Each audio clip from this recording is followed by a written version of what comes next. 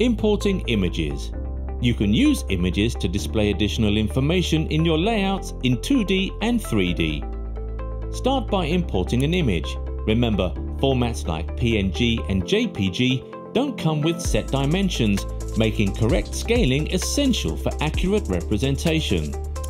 Adjust your image to the correct size by scaling it interactively.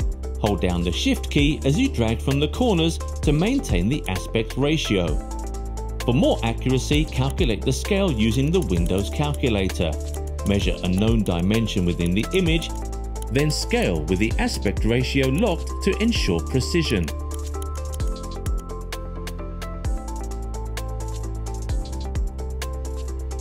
Next, let's import a logo. Set the correct object height and width, then place it against a wall in your layout. Position it slightly forward to avoid any flickering, a quick workaround for a common rendering bug. With these steps, integrating graphics into your visTABLE layouts becomes easy, enhancing both the functionality and the aesthetic appeal of your projects.